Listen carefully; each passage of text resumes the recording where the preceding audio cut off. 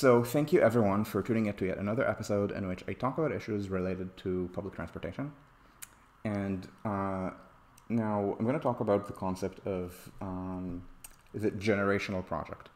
Um, I guess related to the concept of the mega project, but mega project, I guess, is a statement of size, and generational is uh, a statement of relative frequency, by which I mean um, of, of course, mega projects. So, um, mega projects are defined relatively, and I have a blog post about this from six months ago um, about how um, if you can build, let's call you Paris, average city. I mean, large city, but in terms of construction costs, Paris is pretty average. Um, if you're Paris, you can build small metro extensions, and that's not a big deal. You do it all the time. Um, so that is something that is not a, that's not a mega project. Um, it's also not generational because you do it all the time. Um, and um, something like uh, Grand Paris Express, 200 kilometers of driverless metro built as a single multi-line project, that is generational, and that is it's literally not. It's not like they're planning to do it multiple times, so it's a one-time thing. So it's view. So it, so a lot of stuff hangs on it. Um, now I'm making this definitional. I'm starting with definitions because I think it is important, especially important in the context of um, what happens in places that are very aggressive about construction. Um, let's call these places any Chinese city, but I'm actually going to talk about the aggressive builder that I'm most familiar with, which is Istanbul. Istanbul, again, Istanbul can build. Uh, Istanbul has one of the lowest construction costs in the world. Um, it might actually be the single lowest construction cost. Um, I don't know what to say, or how to define large city, but it's lower construction cost than Italy. Um, I think this point much lower construction cost than Seoul, and I think lower construction cost than um, Madrid and uh, and, and Lisbon. So um, they can build. Um, they build very aggressively and this means that uh, so the thing is a lot of what they do is still a mega project. Um, building an entire metro line i don't mean a short extension i mean an entire line is a mega project. Um, it's just when you do it many times it's not generational. Um, and that's going to matter. And the uh, or maybe uh, post-war japan is an even better example um, where yeah they do the shinkansen and maybe the first one was thought to be generational but then they did an entire extension from Shinosaka to Fukuoka, and then they did the the, the, the Sanyo Shinkansen, and then they did the um, Tohoku Shinkansen. So, so it's a, a, lot of mega projects built in short succession, um, or the El LGVs in France. It's the same thing. Um, it's every. I mean, yeah, the first one maybe was thought of as generational, but so the original one, uh, Paris to Lyon, opens eighty three, and then Atlantique, so that's from Paris only as far as, uh, as Le Mans and Tours, and then the rest is on upgraded legacy track. This opens, I think, 90. Um, and then this open. You know, instead of trying to memorize the entire uh, sequence of exactly which line in France opened when, let's look at the map. Uh, let's do uh, work conservation. Uh, so, um, yeah, so 83, 90, uh, 93, 94. So these are pretty significant lines. You can think of them as a mega project, but certainly in the 90s and 2000s when a lot of this was built, this was not thought of as generational. this was just the normal French expansion program. Um, and, and in the 2010s also, by which point they mostly ran out of steam, but they still could build to Bordeaux, to uh, to Rennes, uh, to, uh, to, to complete, complete the section to Strasbourg. Um, and so um, the, these are mega, these are mega projects. These are studied these are studied as mega projects, but again, they were not generational. Um, so the expectation was that there would be more. Um, the kind of um, opposite, so something that's generational but not mega. Um, Berlin Ber- can Berlin build, and this is why I keep saying it's a follow up for my last stream, and I um hover on this blog post. Um, if you're watching on Twitch, um, this blog post, and, and, you watched my Twitch stream three days ago, you already know everything I said here because I literally vlogged that. If you're watching on YouTube, it's just the previous YouTube. And uh, so with this, um, the importance is that Berlin can build. The construction costs in Berlin are not unusual. Um, and um, the and the stuff that was built most recently, there's say U5, I don't think it was treated as a mega project. Um, but um, or the current expansion. Um, but there is a little bit of a generational aspect to it in which people think, oh, we can't build very much, so we can only build a few lines, so it's going to take a lot of time, and there's going to be a lot of bullshit discussion. And this is something I want to highlight. And again, again I highlight Berlin um, and Borners before you came on stream. I highlight one of your on your your comment on this um, because um, um, so I want to respond to your comment and then um, does mean once in a generation, but often it means that it takes a generation? Good question. Um, is the French declaration uh, Déclaration d'utilité publique? I don't know. Um, the problem is that I study things that are pretty mega, um, and I understand that like mega is only an adjective in Esperanto. You know what I mean? Um, but um, so so I can't tell you whether they do this process for a three kilometer tramway extension.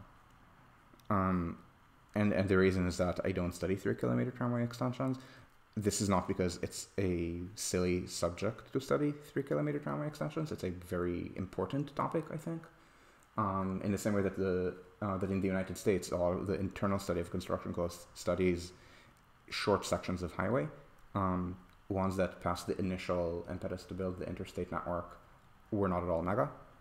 And um, often mega projects and I don't know what the opposite of a mega project is, normal small project, um, have different uh, issues in the United States. Generally, their problems are, more, are worse for mega projects, rail or roads, that includes road tunnel, than for things that are not mega.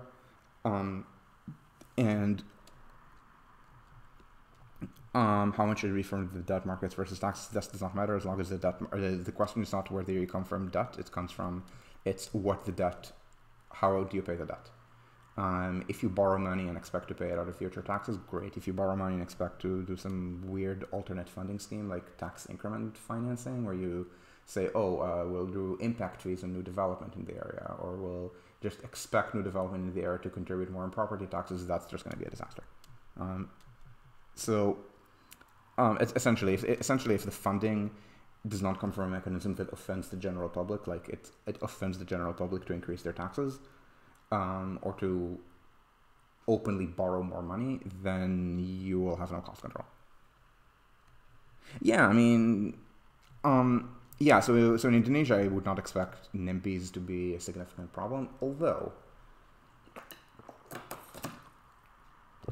although, um, unless I'm unless Jakarta is doing something that nobody else in Southeast Asia does, um, there's a lot of preemptive surrender in that um, a lot of these projects in developing countries, uh, when so they're either elevated or underground, and the NIMBYs hate the L's, but the NIMBYs um, would also hate cut and cover subways, and cut and cover subways are not generally built.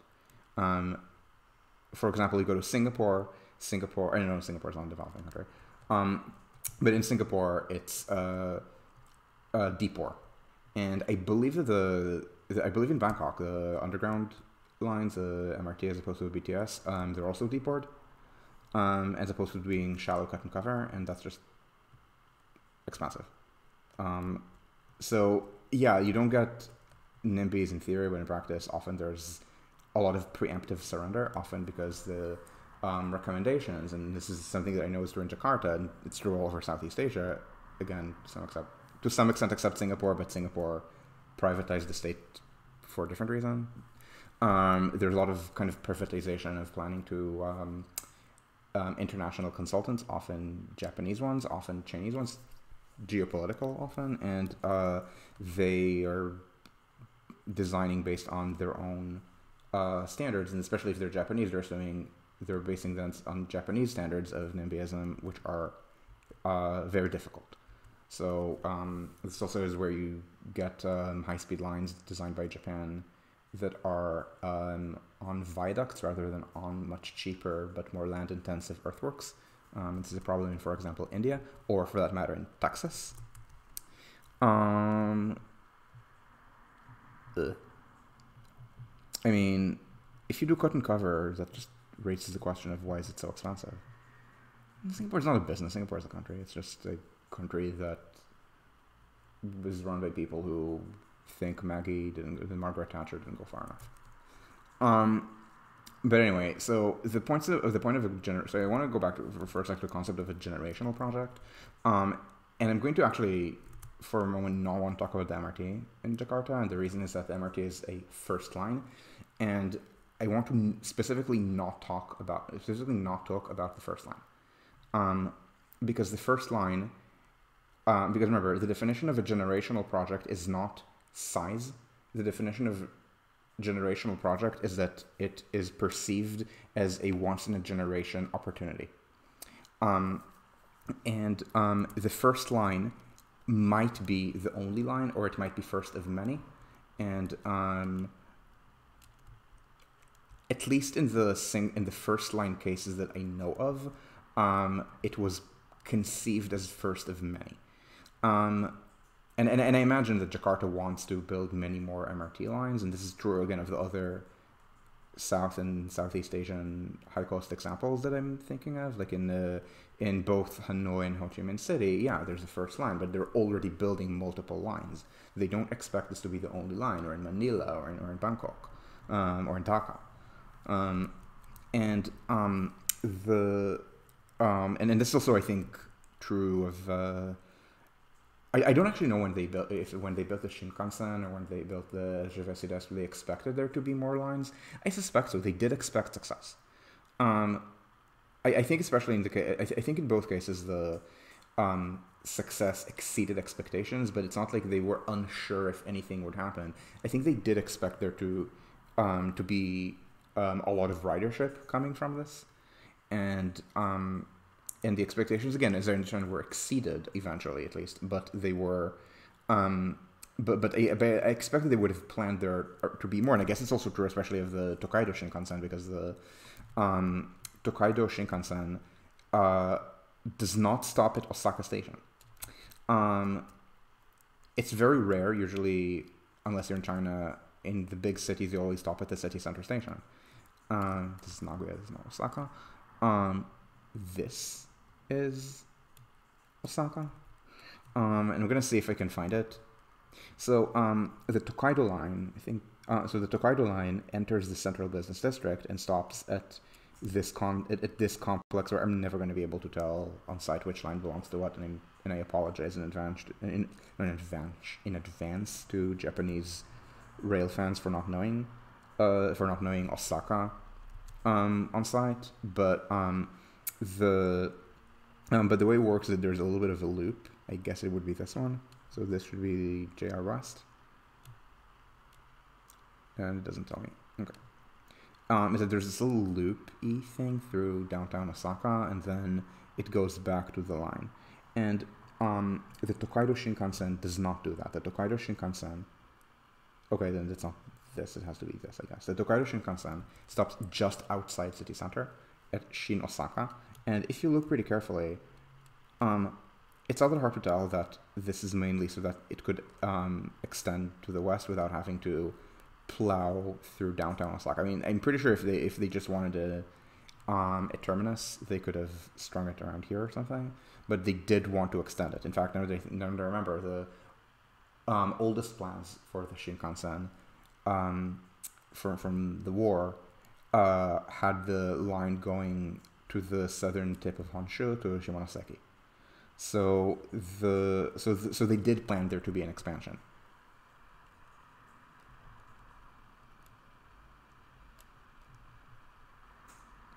Uh, Borners uh, about mar- Singapore being mar- more market oriented than boomer tourism. Okay, so Singapore specifically does not have any kind of uh, welfare gerontocracy, unlike the United Kingdom. Singapore, to the contrary, makes 70 year olds clean tables. But Singapore, Um, but for example, the issue of land is pretty similar. It's the same kind of uh, leasehold situation. In Singapore, it's a little bit more explicitly state um, oriented than landlord oriented. But remember that the super rich in Singapore don't own land; they own things outside Singapore. Um, actually, a lot of I, I issued a stream about Singapore at one point, but Singapore and Hong Kong specifically have this issue where um, uh, a lot of the people who in non-city states would just be living outside the city, live in the city, and then travel a lot outside the city. And this, uh, and, and this, for example, messes with emissions calculations because these are all international flights, which are never counted as a single country's emissions. Oh God, yeah, and the new capital, which is just a silly idea. Um, and uh, well, Hong Kong is becoming less sui, um. I mean, give Xi Jinping some credit, he wants to once they want to turn into any other Chinese city, but probably a combination of any other Chinese city and an Uyghur concentration camp, given how uh, given how they think of the um, average Hong Konger. So, um, so anyway, the so the point of a generational project is that it is not expected that there will be more or if there are more, it's going to be in the distant future when the current elites are dead or not even retired in the sense of being 68, technically retired, but constantly commenting as a former head of whatever to the media. Um, I mean, like 85 and, and like with advanced dementia. I mean, a 55 year old, let's say, um, or 58 year old uh, manager, like not random manager, I mean like C-suite type manager at the agency can see themselves at 68, not really at let's say 85 or 90. So um, the point is that the generational projects uh, will attract a specific kind of I don't know what to exactly call it. I don't. I'm not going to say NIMBY because NIMBYism is independent of how generational the project is. You need to deal with NIMBYs regardless, because the point of a NIMBY is a NIMBY is an obstacle to your infrastructure, to whatever, um, who is an obstacle on the grounds of not wanting real or perceived negative impact with their local area. This does not matter whether there's going to be another project in a different neighborhood in five years or not. Um, now, the NIMBY may uh, Oh.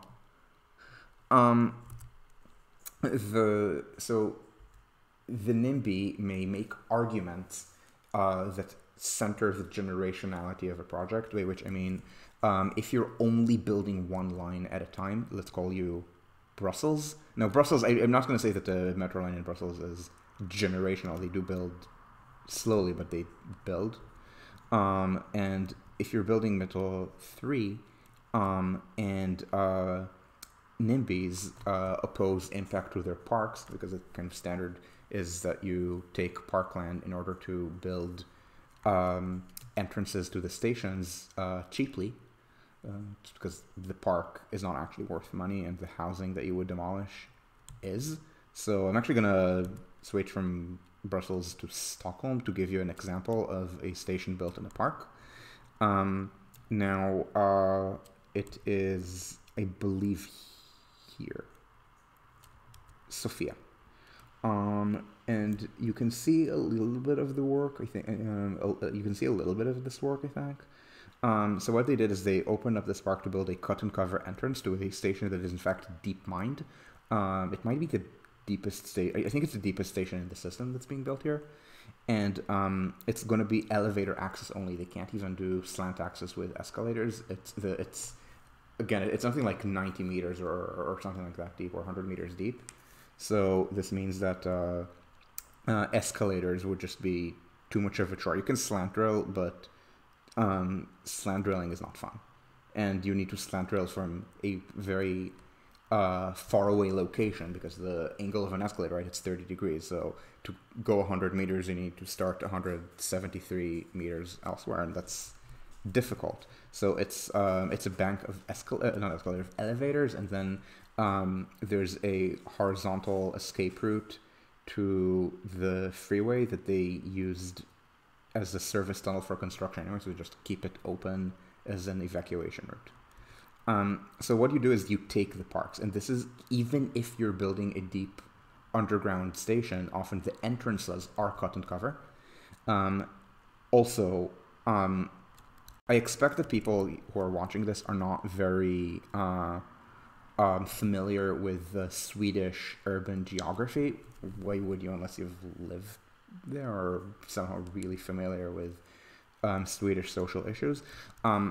Stockholm is um, very I want I won't say Parisian, but really normal in that there is a, a, standard gradient of centrality and income. So rich people, rich people, rich people. Um, and the farther away you go, the poorer you get. Also, as is pretty common, there's directionality. Um, there's there are poorer and richer directions. Generally, um, the richest direction is here. It's an area called um, Roslagen. Um, in fact, it's the same uh, etymology as Russia. It's Ros. Um, I guess they considered this area of the Ros, and then beyond that, to the east, this was also Ros, and then Rus, and then Russia. Um, so rich people. Uh, I think the wealthiest uh, municipality in Sweden is Danderyd. This one, and uh, the uh, and then the suburbs to the west. This is west in this context, very few people live here, as you might be able to tell, and to the south uh, are poor. Um, so, so, so this area specifically very central, thus rather wealthy. Uh, this is Södermalm. Um, again, I don't expect you to know Swedish urban geography, so I'm just gonna babble. Um, the more traditional rich people live in Norrmalm, so or Östermalm, whatever, like north of the north of city center. Uh, I lived here, by the way, because the uni is here. Um, I lived at the very margin of the regular built up area. So I lived on somewhere around here. I don't remember which building. Um, technically, city center, like the uh, gates of the the um, congestion pricing toll gates are around here, maybe, but nobody lives, lives here. It's just the university. So the normal residential area ends here. Um, this is an area where I think even in the most recent election, um, they voted majority right and not majority left. Um, of course, very wealthy urban area, as you might expect, very few vote for the extreme right, but a lot of people vote for normie center right. Um, and Södermalm is kind of the hippie area that um, thinks it's being uh, like not that they're not bourgeois or something, even though they absolutely are. Um, and so this, as you might expect, might not be the most developmentalist place, but they just built anyway. I mean, I mean, there's NIMBYism in Sweden, but they can build. Um, ooh, I have not seen any photos of the of the Brussels metro. If people want to post in comments, I will look. Um, and um, so the norm, at any rate, is you open up the parks and you do it for free because it's public land. Um, if it doesn't happen, it means something's gone wrong. For example, in Istanbul, as soon as CHP won the municipal election, state owned parks were no longer available for staging construction, only municipal parks. Um, er, um, Erdogan is that petty. In the United States, there's a parks department that will extract money from the agency for construction. Now, this is something that is often related to the generationalness of the project generationality because oh it's our once in a lifetime opportunity to extract 15 or once in a generation opportunity to extract money. It's not that's not it's just bullshit uh, that's just bullshit uh, um, that's just some bullshit um, extraction. This is the Marx Brothers playground which uh, its location at 2nd uh, and 96th makes it very attractive for staging construction for Second Avenue subway. Um, and uh, the Parks Department charged this it's charged up the city, the MTA, 15 million to use this for staging. Um, and uh, so again, this is just bullshit surplus extraction. Um, now, NIMBYs remember, we're still talking about NIMBYs. NIMBYs may argue um, differently against a generational project and a non-generational project. And we're going to take a break for 10 seconds because we're running out of light.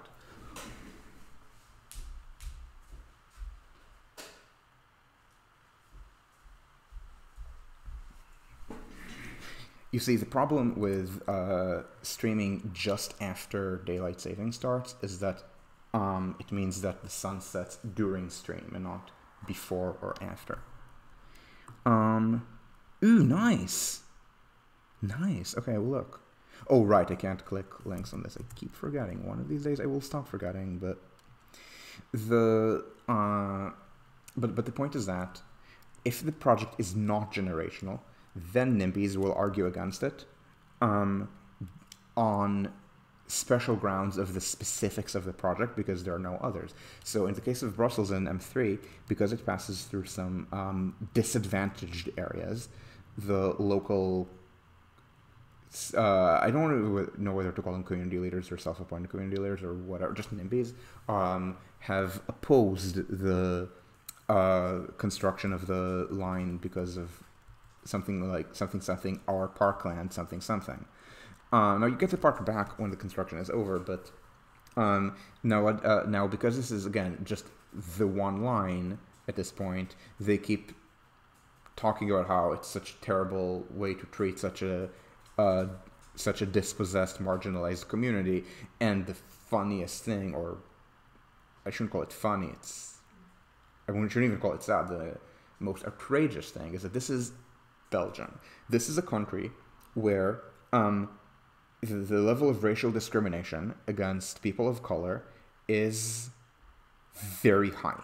Um, and I don't mean in the sense that it's very high everywhere. No. Um, Belgium, like France, is unusual. Like, it's a lot worse in both countries. And I think Belgium might be, even be worse than France than in, let's say, Germany or Britain.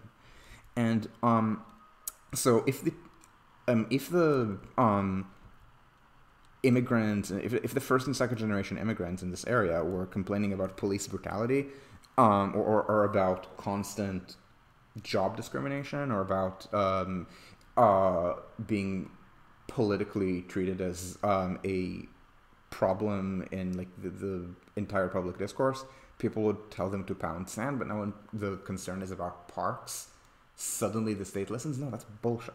So again, it's something that might be argued on a, spe- on a specific case by case basis.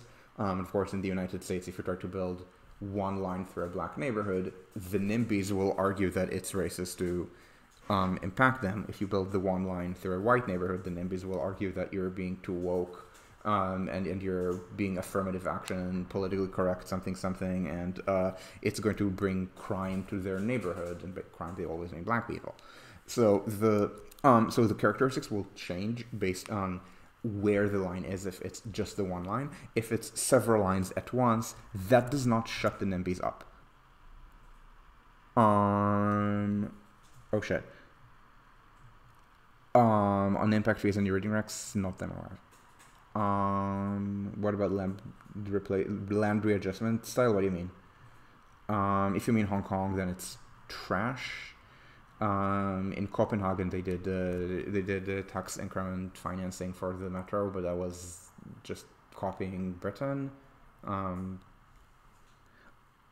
oh, you mean the private railroads in Japan? Because the subway in Japan is built publicly, I think. Um, the the private railroads in Japan, that's I, I don't think that's land right? It just it's just it's their land that they buy and then they develop it, um, and they pay market rate. Um, but also Japan. Japan is one of those places that are like Germany in that they can build but chose not to. Oh, oh, oh, huh. Okay, then I don't actually know. Um, the Tsukuba Express is also weird because it's third sector. Um, is Tsukuba Express the only third sector in uh, Kanto? And sorry, when I say Kanto, I mean stuff that gets to Tokyo. I don't mean like random circumferential line between two um, places that are technically in Kanto but are not even suburbs of Tokyo. Oh, okay. Huh. What are the other third sectors? Um, and for the purpose of this discussion, I don't mean toy. I think toy is just normal private. Oh, okay, okay, okay, okay. But is Tsukuba Express the only one that goes into like central Tokyo. Um, but, but anyway, the what I'm saying is that NIMBYs exist even against multi-line systems. Oh, okay, okay. Oh yeah, those. Yeah, yeah. The ex- oh, you mean the ones that? I mean the extension lines. Yeah, yeah. The the line. Yeah, yeah. So the so the, so the toy lines, the ones that uh, extend, uh, the one that extends Tozai to the east. Um, I don't remember what Saitama extends to the north. Is that Namboku? Um, or, or is that Mita? I think Namboku. Right, Mita is the weird one that bends northwest. Um. Yeah, yeah. So and so anyway, and so NIMBYs also argue against multi-line product. Um, then they will say, "Oh, we have uh, they're destroying all of our downtown are destroying all of our neighborhoods." So, for example, the Jane Jacobs style critique of um, highways was a NIMBY critique. Um, and this needs to be understood. Yeah, she stopped a highway that would have destroyed the neighborhood. Yeah, but it was a fundamentally NIMBY critique. She supported downzoning. She thought tall buildings were a nuisance like highways, and she proposed neighborhood empowering mechanisms that empowered a rich neighborhood like hers, the village, um, to resist highways, but did not so empower poor neighborhoods like where the Cross Bronx uh, not freeway, the Cross Bronx Expressway went through. And so, um, oh, okay, okay, then on stayed on. That's the best I can tell you. I'm sorry. Um, but anyway, so the critiques of let's say, so the NIMBY critiques of highways in America grew at a time that it was not at all generational. It was viewed as an not an, not an uh, perennial or, or, a permanent road expansion program funded with the expectation that it should be a permanent road expansion program. And um, the uh, and and the sort of um, NIMBYism that we see, all right, cha cha, um, the sort of NIMBYism that we see in Germany um, predates the decision of Germany not to build. Um, now, of course, generally, if you build many lines, it's likely you have less NIMBYism, not because NIMBYs have, not because NIMBYs are less likely to object to um, multi-line systems, but because probably if you build a lot, then it means that you're able and willing to build, and one of the things that this includes is suppression of NIMBYism. So if you're Spain, you just have rules that disempower NIMBYs. And that is one of the many things. It enables you to build um, so aggressively, at least when you have economic growth, as the country did until the financial crisis. Um, and now that it's recovering, kind of, uh, it's going back to building. And if you're Germany, for example, and you emp- empower NIMBYs, then you're just going to build less. Um, and this is the point of a generational project. Once you build so little that something is viewed as a once in a long while construction project, things are going to get worse.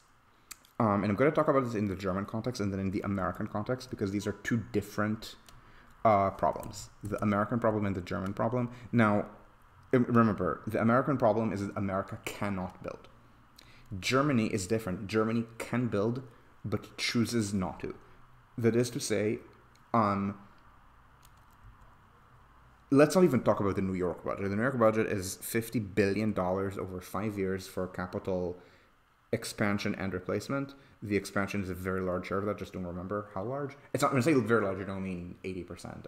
But I mean, I mean I'm guessing maybe one half. I don't remember.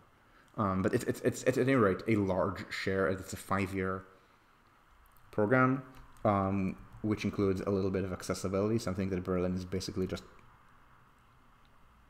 doing right now. And, and it's not even a mega project, it's just, I don't even know how many tens of, it, it's tens of millions of euros, not even hundreds of millions of euros to complete.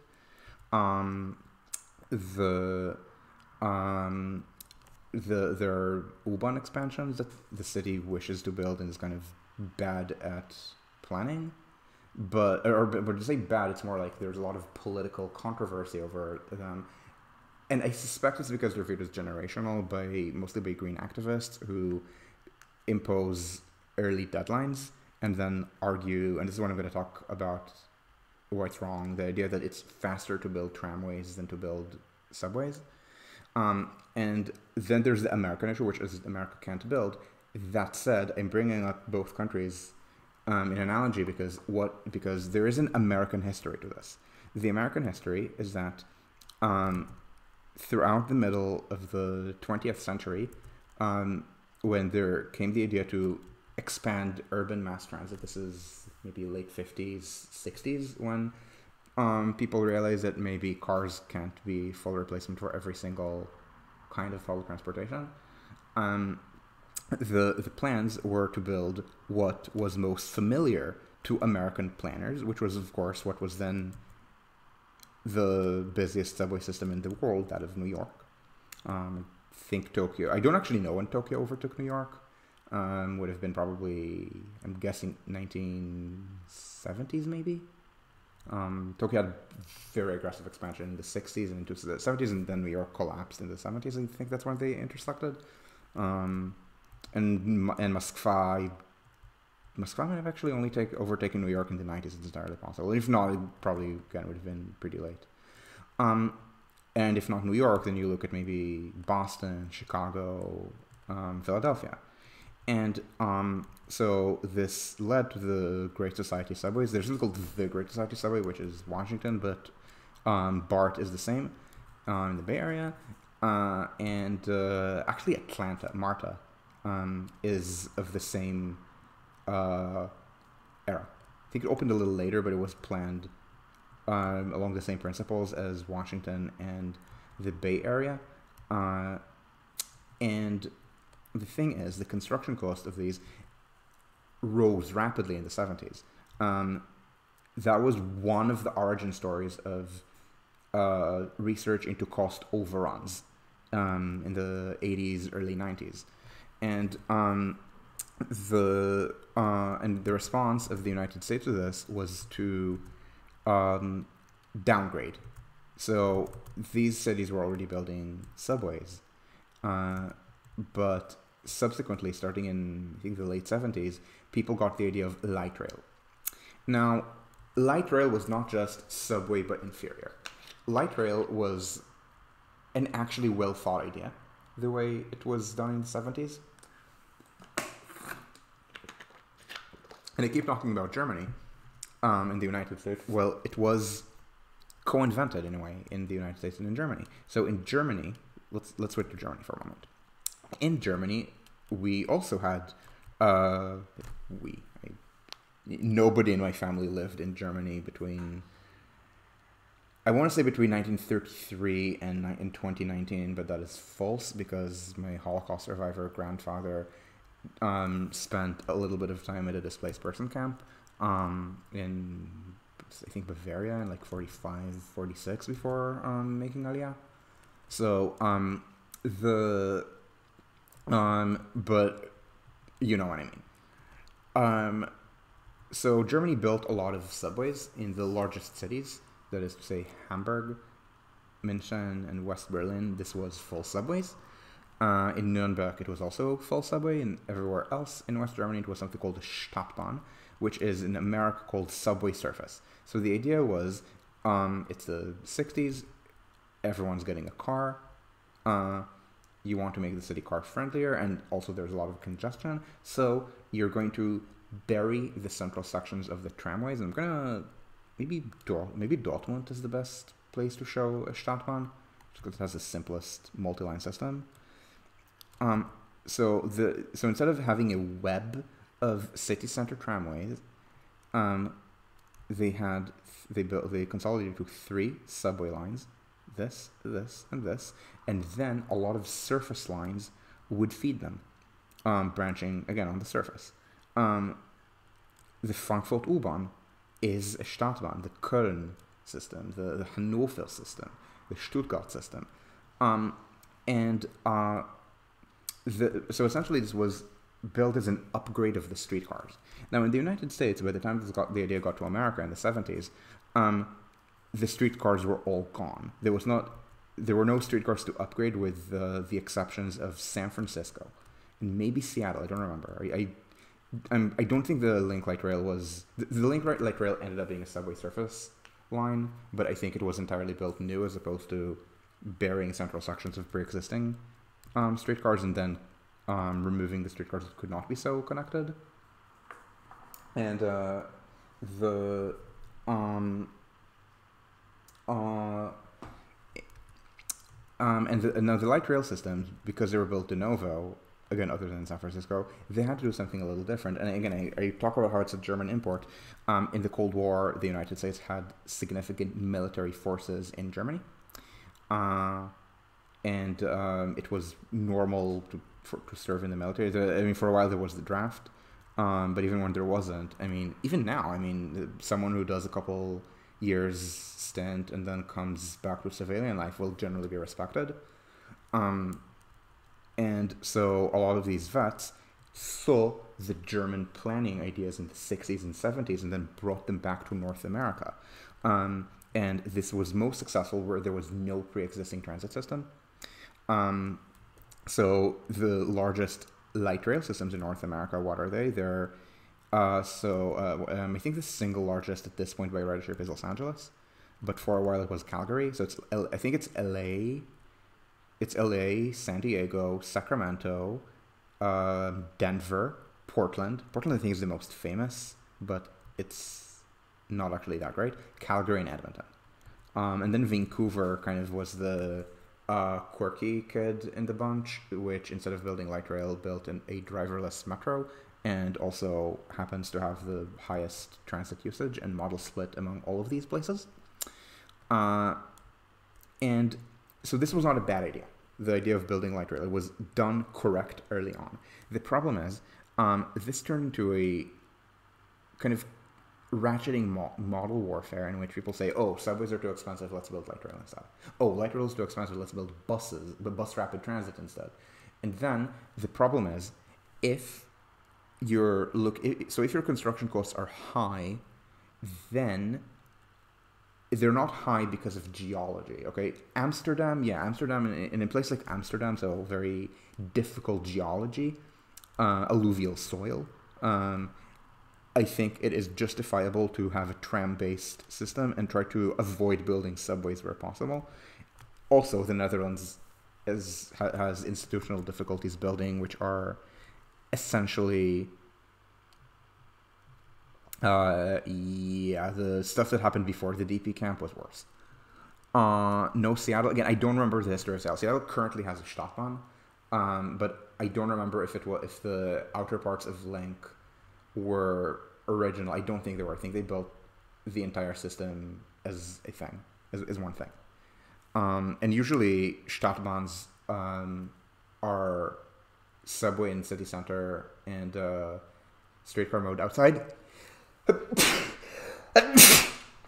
and uh, it's not just a UNIMBY, but UNIMBY, but also um, the Netherlands has a lot of um, Anglicisms uh, and uh, the like institutional Anglicisms. For example, the civil service is unusually uh, weak. They rotate uh, top civil servants between different ministries to avoid giving to, to avoid having them be too expert in their field because that would give them too much power and they don't want to be like Italy, which can build. Um, so instead, they can't build. And um, but anyway, uh, American Light Rail or North American Light Rail is uh, has a similar history as the Stadtbahn. Um, not history as in Street River, but same history of planning, but the but it's slow. That is to say, in streetcar mode in city center, and then they go on rights of way, often disused railways, uh, outside. Um, or maybe uh, freeway median is the inferior option. Um, and so the problem is high costs, except in weird circumstances like alluvial soil, tend to be institutional. And if your high costs are institutional, the institutions don't stop existing when you switch modes.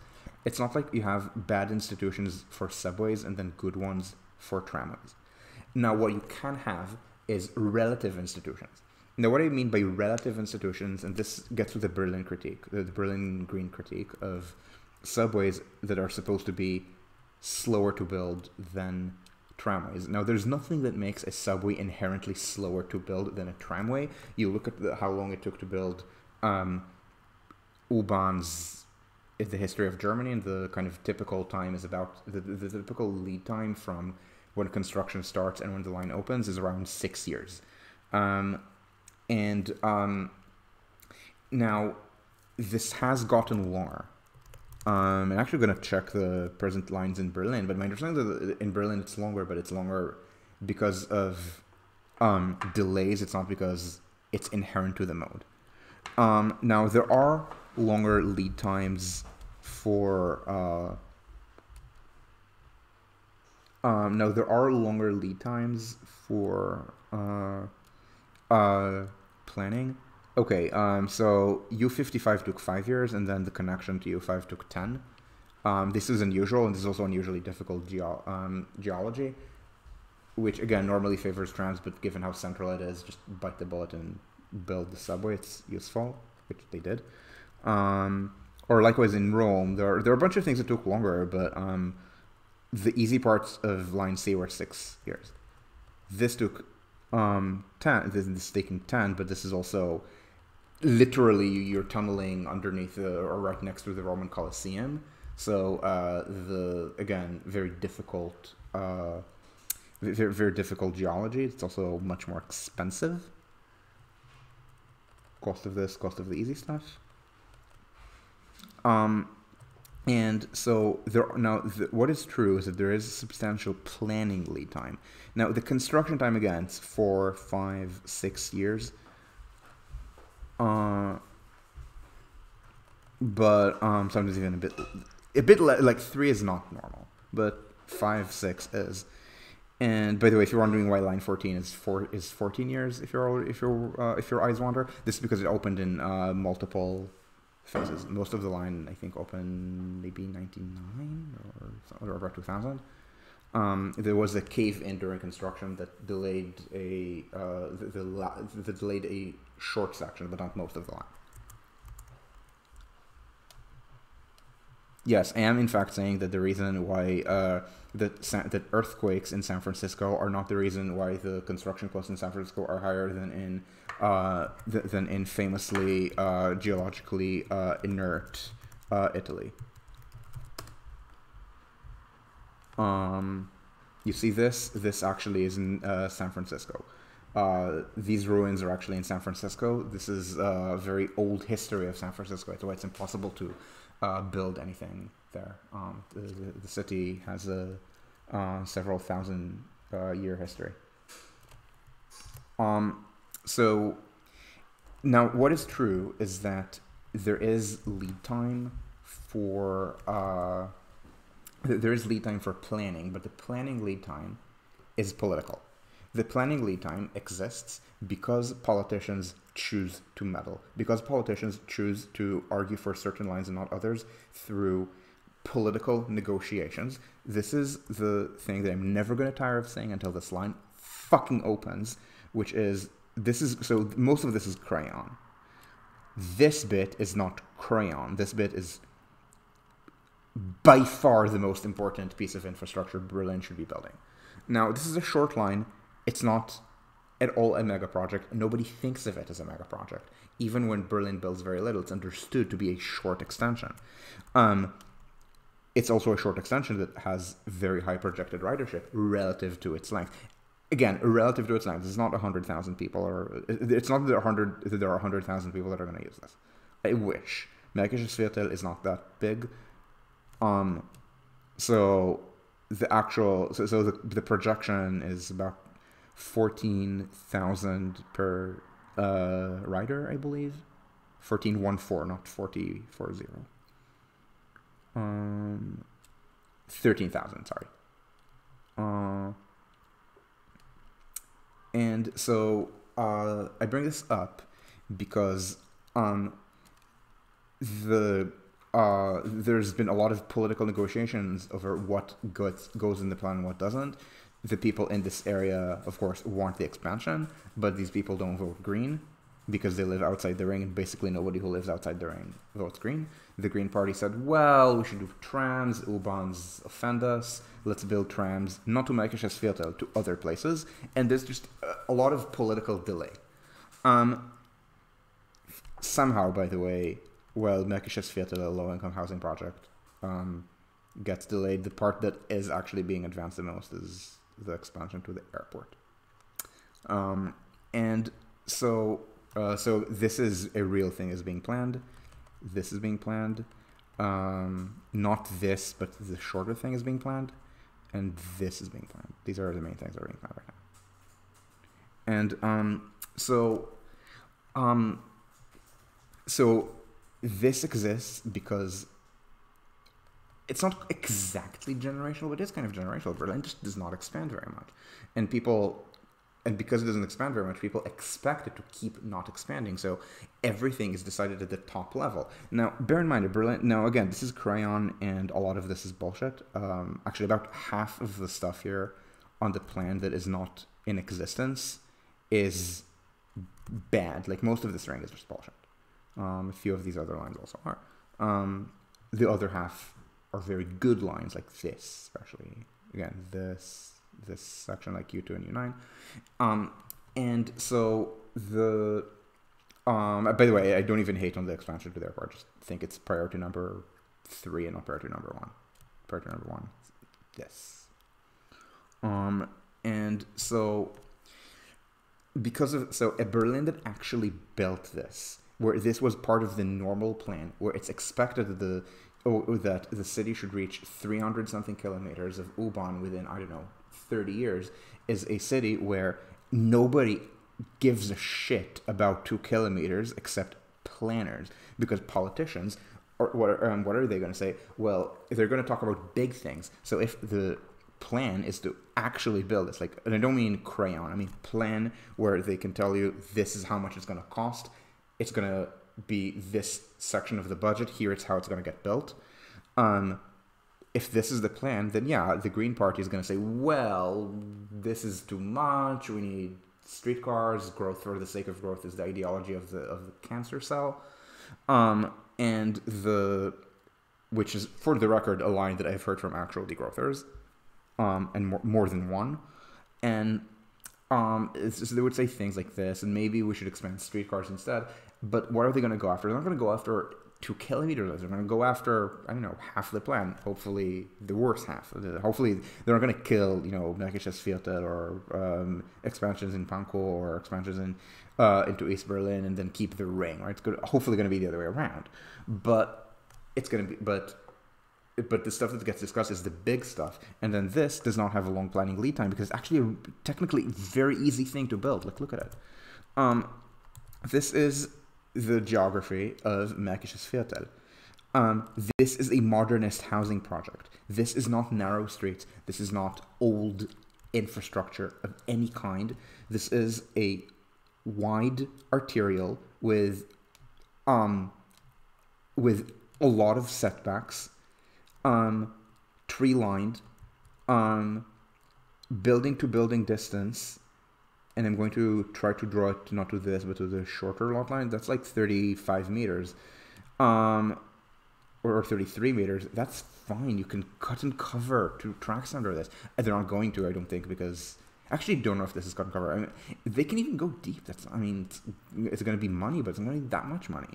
Um, and then the idea is to get from uh, Dam to into the project and just look at this there's space. There's space for whatever the fuck you want. This is not technically difficult. Um, and because of that, the planning lead time can be short because the politicians are not going to give a shit if this is two kilometers out of even 60, let alone 160, which again, as I said in my previous video or the blog post that I'm highlighting, the 160 is excessive. But two out of 60 is still is still not enough to lead to political to political I don't know what to call it. The it's in French it would be called polemique, but um, I don't know if there's a good word for that in English because polemic means something a little different. On in online English, it's called discourse with capital D. Um, but it's not a standard English word. And like in standard English, you would say discourse, and it's much more neutral.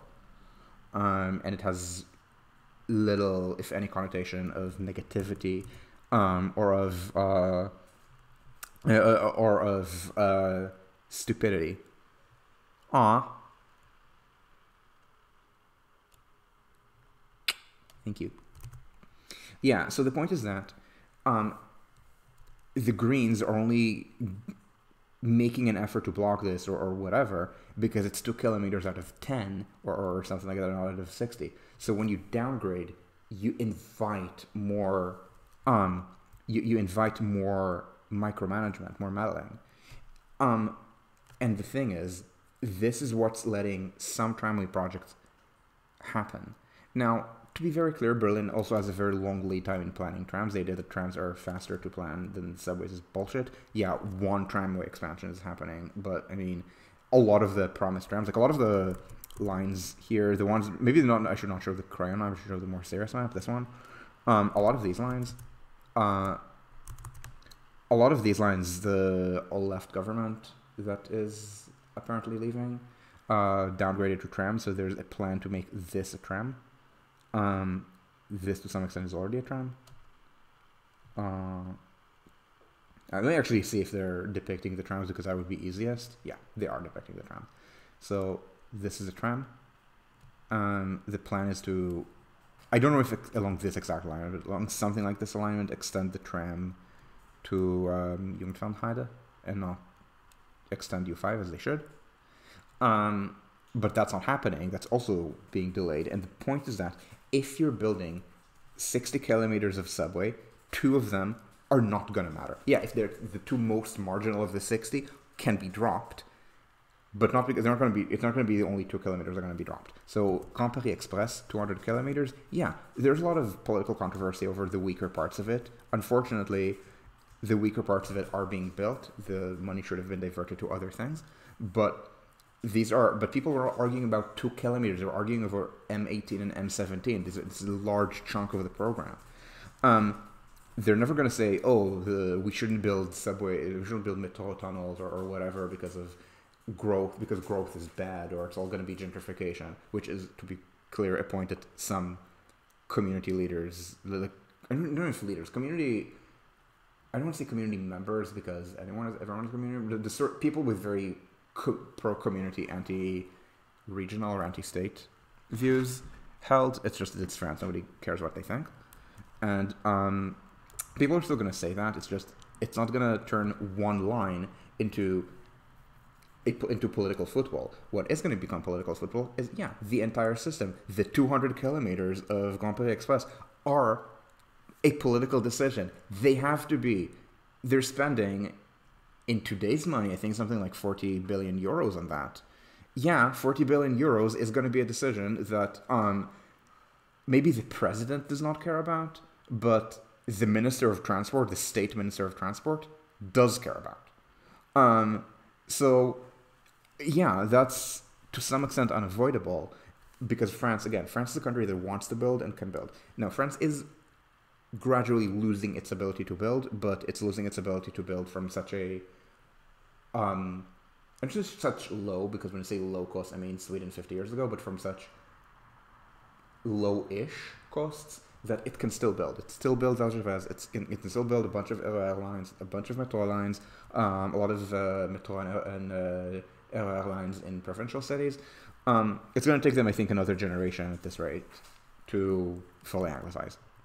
And so when you do that, yeah, people are going to argue over the marginal parts of the plan. They're going to argue over the plan in general.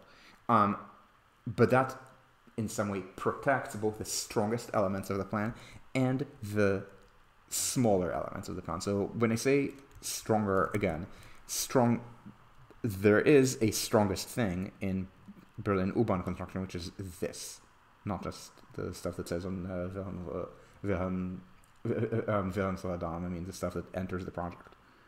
Um, and um, the um, but also trams. So if you have a plan to expand the U-Bahn, I don't know, 70 kilometers or something, or uh, and also expand the tramway system by another 70 kilometers, the tramway expansions are going to be small. So yeah, they're going to look easier to build, and this is what's happening in Germany when there are combined plans, and Berlin does have combined plans. There are U-Bahn expansion plans, um, like the connection to the airport, which is not under construction, but that's just because they're slow. But it's intended to be under construction, even in the outgoing coalition.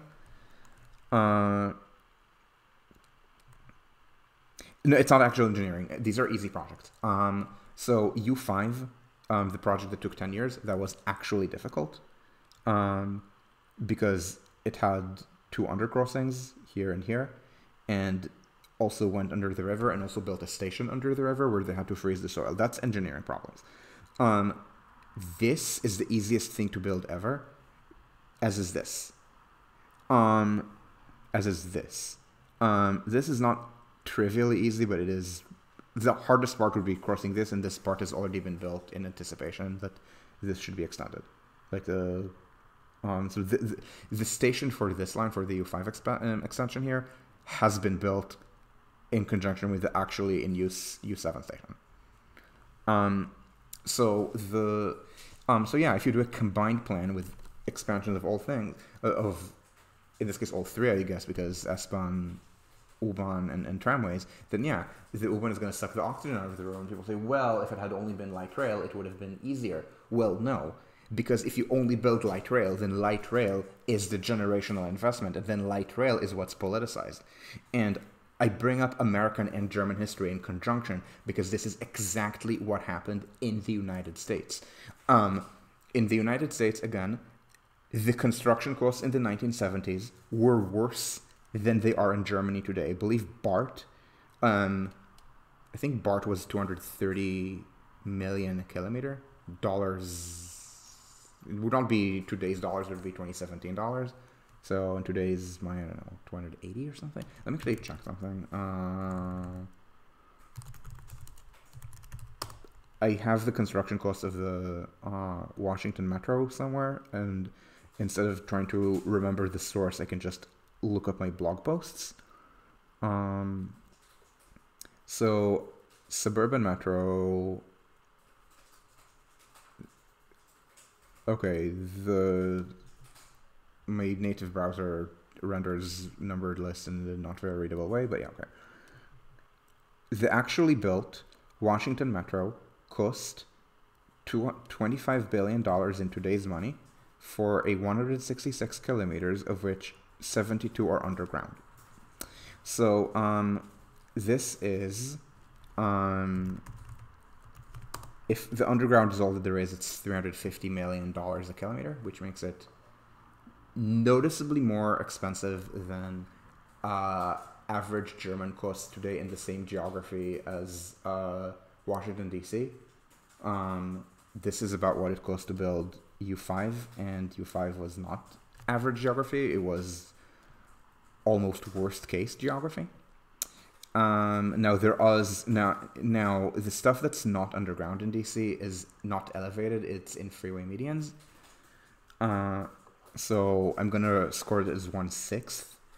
Um, the underground and not one half the underground. It's usually a one in six ratio, uh, like a six to one ratio between light rail. Sorry, a six to one ratio between sub between underground and light rail. Um, in Germany, people even say 10 to 1. I don't think 10 to 1 is correct. 10 to 1 is actual subways and actual light rail, but usually light rail here is built on easier alignment. Um, if you do it 6 to 1, then it's equivalent to 87-ish kilometers. So 200, yeah, so a little bit more expensive than Europe, than German construction today, and this was in the 1970s. Um, and uh, so America was poorer in the 1970s than it is today, poorer than Germany is today. And um, the so the downgrade of lines to light rail, uh, again, happened in a higher cost environment than when people in Germany want to do it. But what happened was that uh, what happened was that suddenly, instead of people having polemical debates about a subway that are such a reason for co- for cost increases. And this is actually a, a, place where the best example to look at is. I remember I talked about uh, the importance of studying non-mega projects. I study mega projects, but other people study non-mega projects. Well, let's talk about someone who I've met named Zach Liscow. Um, so there's so it's Leah Brooks and Zach Liscow. Liscow is the one among these that I've talked to. He it was it, it was a conversation with many other people, so um, it's not like I can give highlights from a conversation with him. He seemed pretty solid in the conversation, but again, it's not. There were a lot of other people in the um, on that call, so I can't give you more detail than he seemed solid. But anyway, um, they talk about the cost explosion in American highways in the 60s and 70s, and uh, they talk about citizen voice. Um, essentially, NIMBYism that is empowered through uh, litigation, so adversarial legalism. Uh, and uh, this leads to compromise routes that are both worse and uh, more expensive. Now, worse is from the perspective of the engineer. So often this means, uh, so this means for a highway it's more circuitous. Um, but often it's um, but but often it's also something that's not actually better from the perspective of let's say avoiding greenhouse gas emissions because that would mean just not building the highway. If you build the highway but it just goes less directly, that's not going to save the planet. Um, if you build it but you build it narrower, yeah, that saves the planet. It means less car capacity. But if you build it and then instead of going direct, it goes it zigzags. Yeah, I'm sure it makes some people choose to drive less because the road is more because the road is not as direct. Never remember where the best example of the zigzag is. Um, this looks like it was in the right of way. Look at it, like some kind of river. Um, but okay, but people are just gonna drive longer distance because the okay. I don't know if the if this kind of uh indirect route was because of NIMBYism or another reason, but something like this, yeah. I mean, sure, you can say discourages driving by um, by being less direct and going whoop, but uh, people are just going to drive longer distances. So um, that's not so. It's something that so it's routes that I don't think are discouraging driving to the point of actually reducing emissions, reducing um, pollution, redu- reducing car accidents. Um, but again, things that maybe avoid specific rich people neighborhoods, things that um, uh, uh, things that involve more engineering, uh, maybe things that involve more giveaways to the um, more giveaways. Again, I don't want to say community because it's a specific subset of the community. The example is in LA. LA's last freeway was the Century Freeway. Um, and again, at the time, freeway construction was not viewed yet as generational. Uh, but still, NIMBYs and highway revolters managed to extract so much value, which included things that are completely useless. The, like, for example, there's a light rail line in the median, the Green Line. The Green Line in LA is very useless. It was supposed to connect the airport with Norwalk. Now, the problem is they only built it in the median of the freeway. So the line ends, so, so the green line ends around here. Uh, here, I guess. And it doesn't actually get to where they wanted to go, which was the Norwalk commuter rail station. Which I guess is somewhere here. It's not shown. No, it's here. This is a different line. It's here. They didn't get all the way here. And at the western end, they didn't actually get all the way to the airport. They got to a uh, to just outside airport grounds where you can connect to a shuttle bus, or more likely, you're just going to drive the whole way. Because this also doesn't get you anywhere except the freeway. I mean, yeah, there's a there's a connection to the blue line here. Okay, whatever.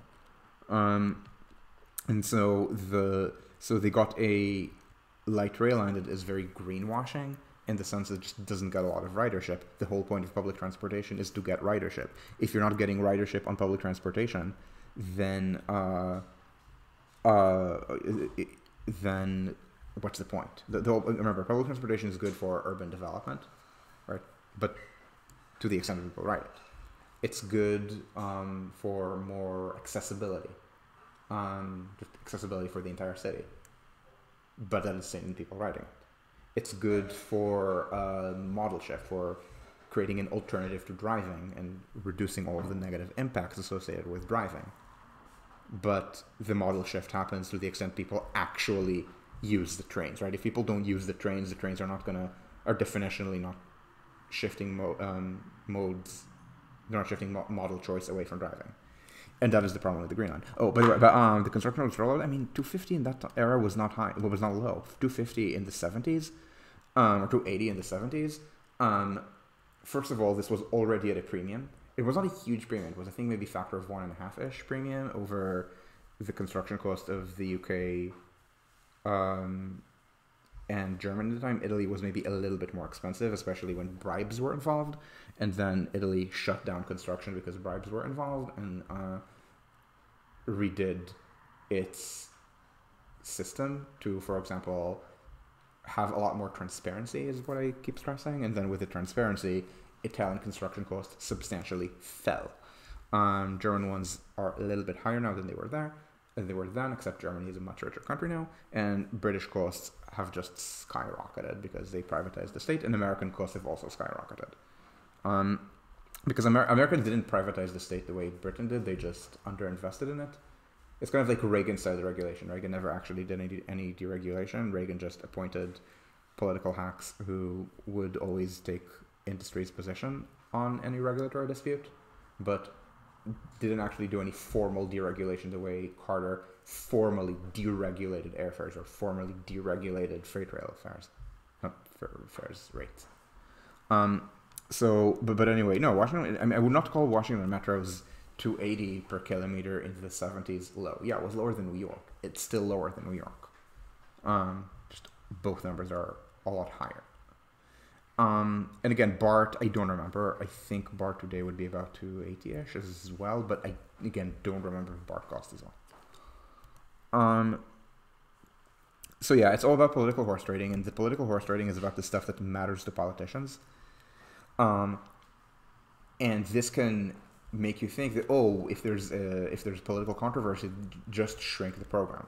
Now, in some cases, you should shrink the program. Okay, um, I so I imagine that you guys know that I love Alfred Twu.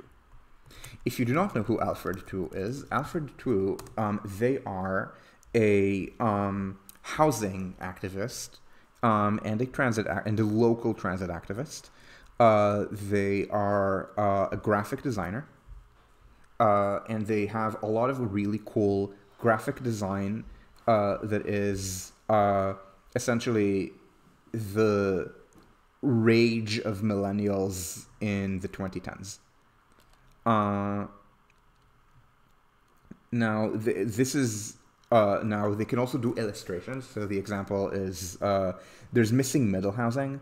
Um, for people who don't know, it's something that I think is kind of overrated, but uh, this is the but this is there, there's it's a specific kind of development that is let's call it row houses um, I guess Borners is not here, so I can't tell him that this is um, Outer London.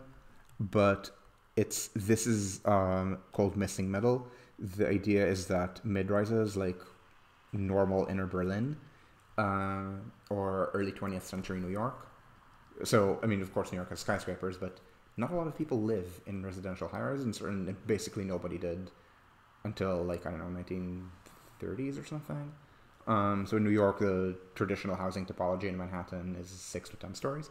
So this is mid-rise. This is like Berlin is mid-rise, like six to eight floors, I think. Um, the idea is that um, these are expensive to build and they're only allowed to be built in small areas. This is single family, so missing middle is stuff in between that is supposed to be well missing. Except my critique is it's not actually missing, except in Canada. In Canada, absolutely. Everywhere else, no. And this is not Canadian spelling. This is um, an American site. In America, this is not missing. This is just outer New York, like past the subway. Um, so at any rate, riffing off of Missing Middle, um, Alfred also made Missing Large for uh, various uh, forms of mostly social uh, housing that could be built uh, at, at, higher density near, for example, BART. Um, they're very barrier and, and missing small things that are uh, not large single family, but essentially single family that's affordable for poor people, um, like uh, mobile homes, manufactured homes. These are things that are a, a low end American housing typology. In America, nearly everyone lives single family. This is single family, except it's small, um, mass produced. Often the quality is lower, but it's therefore more affordable, and therefore uh, quite a lot of places have zoning laws prohibiting trailer parks because if poor people don't live in your area, then that's maybe a solution to poverty, I guess. Um, I mean, I live in Germany and people here have such solutions to certain, maybe not poverty, but um, other well-known problems to Western civilization. Um, I'm just gonna try to find the map. Now, if you know Alfred and you know the map, then you know what I mean. Okay, I can't find. I'm just gonna Alfred to the map. The, when you say Alfred to the map, it's from ten years ago at this point. Um, because when I say millennial rage, uh, millennial rage, what I mean is it was actually when millennials were old and uh, were old, now we're old, where millennials were young enough to have this kind of rage at the unemployment rates of 10 years ago. This is, th- no, we don't need to talk about my ad block, we need to talk about your ads. Um, this is the map. Now, you can maybe make a, an economic argument against it, um, which I have, which is that this connection is trash. Maybe not all the way to Vegas, but the this and this are trash. Like this like a lot of this is good, but the through connections from the Eastern system and the West Coast are bad. Again, and I love Alfred.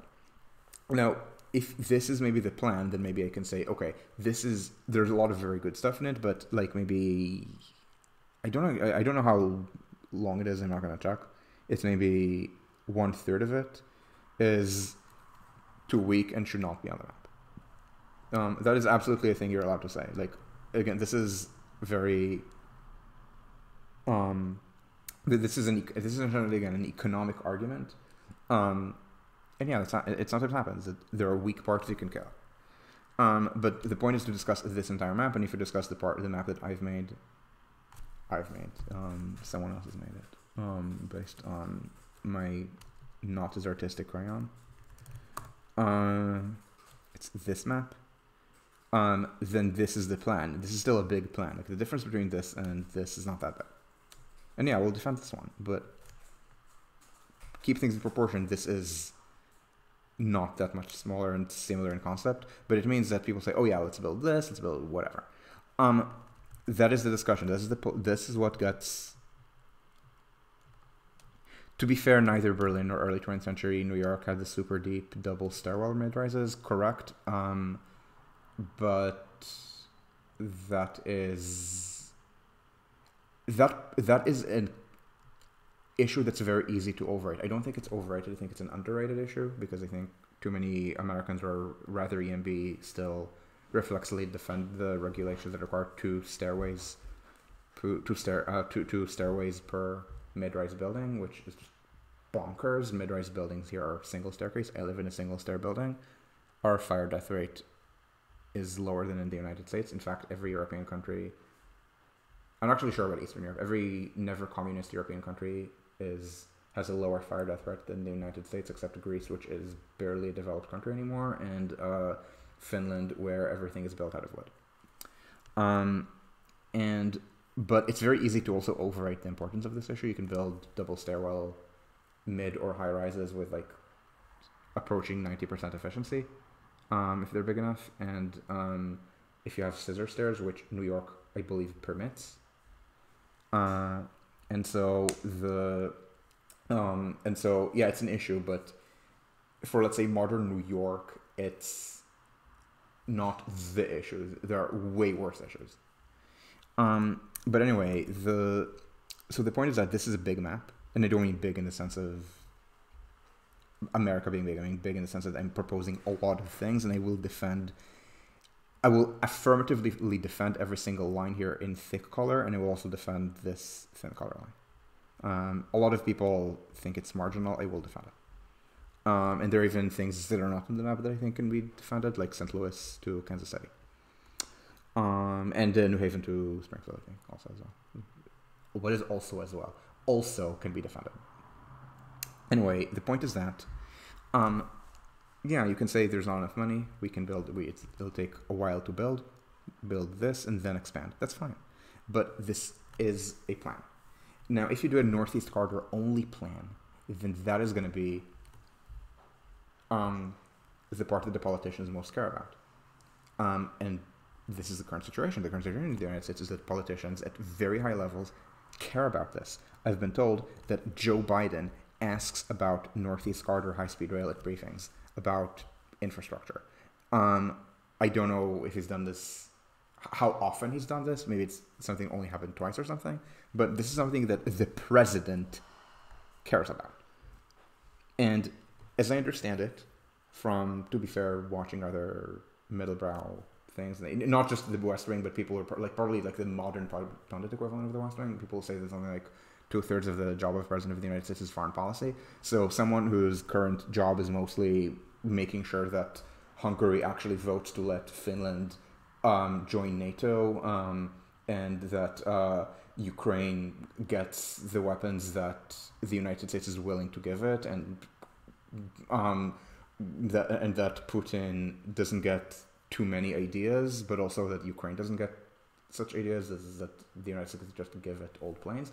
Um, that um, and someone whose job is mostly that is asking about this line, and this is because the current plan, yeah, in theory there are maps like that are roughly this size, but again they're crayon.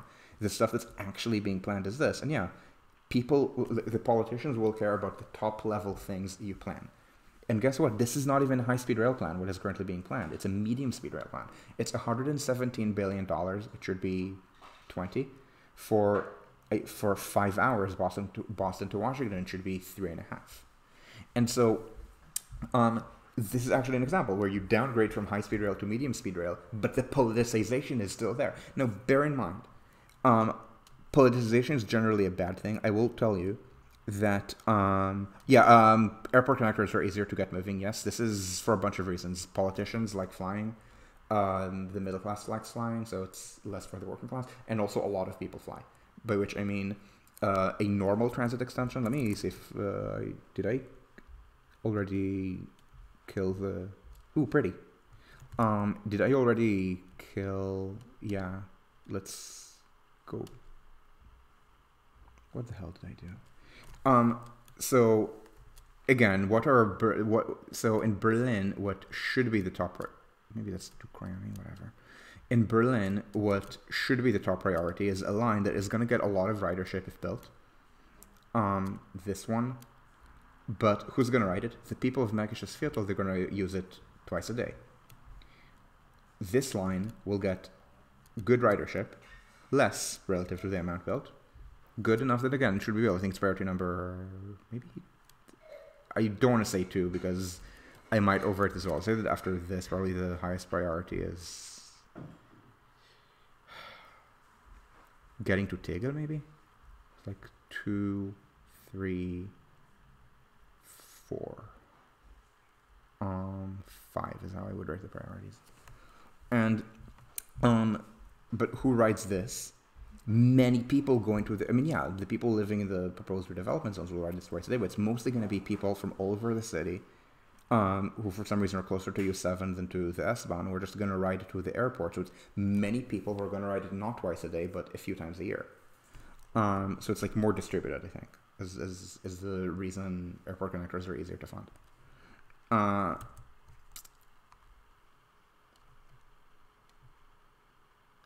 I mean, yes, the remember that Britain loves corrupt Eastern European right wingers because the corrupt Eastern European right wingers, being corrupt, make the EU less workable, even if their purported so even if their purported goals are not anti-European, in practice, like PiS loves doing that. Uh, um, so the but I mean to be fair, Britain is more into Poland, which which is not as corrupt. Poland is just anti for the sake of being anti. Uh, but anyway, the but, but anyway the um so the, so the point is that that Northeast Corridor line, even though they downgraded from high speed rail to medium speed rail, that's supposed to be faster, every German will tell you, oh, we can't build high speed trains. Let's just try to optimize the medium speed rail, uh, rail system we have. And wait, when you actually make it a formal plan that the main thing to do is medium and not high speed rail, and I don't mean the combo, I don't mean the Deutschlandtakt. The Deutschlandtakt is a combo of high and low of me- and medium speed rail. The Deutschlandtakt includes some high speed lines that are to be built. For example, Stuttgart to uh, Stuttgart to Ulm and even Augsburg, or Frankfurt to Mannheim, um, for such reasons as capacity. Um, it's not a fully medium speed system. Um, and there are also planned to be uh, more. There also is planned to be more usage of the high speed line, so that instead of only I think three trains a day, the direct Berlin Munich trains that go through Halle and not Leipzig are gonna go are, gonna go um, hourly instead of three hours a day. So it's gonna be four hours less than four hours. It's gonna be upgraded to um, I think three hours fifty.